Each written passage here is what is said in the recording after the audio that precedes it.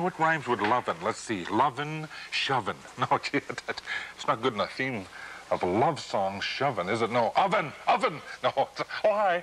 Just writing another song. This is going to be a winner, I'll tell you. Excuse me for a second. Okay, now there's got to be something that rhymes with. Think, think, think, think. Come on, come on, come on, come on. Uh, let's. Oh, excuse me. the door. yes, can I?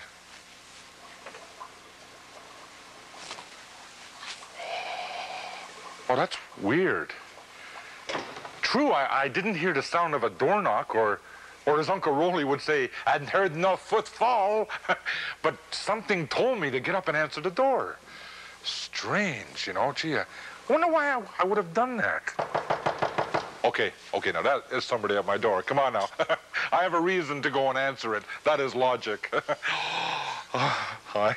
Hi, Biff. Oh, I'm so surprised. You know, I never see you out of your apartment. Now, here you are down here. Yeah. Well, I know it is a surprise, but aren't you going to invite me in, Biff? Oh, oh, for sure. Yeah, come on in. oh, I'd love to. Yeah.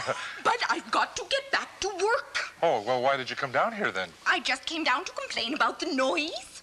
Noise? I, I don't, there's no noise. I, It's making it kind of hard for me to concentrate on my work, Biff. yeah, okay, I, uh, But I really want you to know Yes? that apart from this one incident, Yes. I think you've been a really terrific neighbor. well, thank you very much. you know, I try.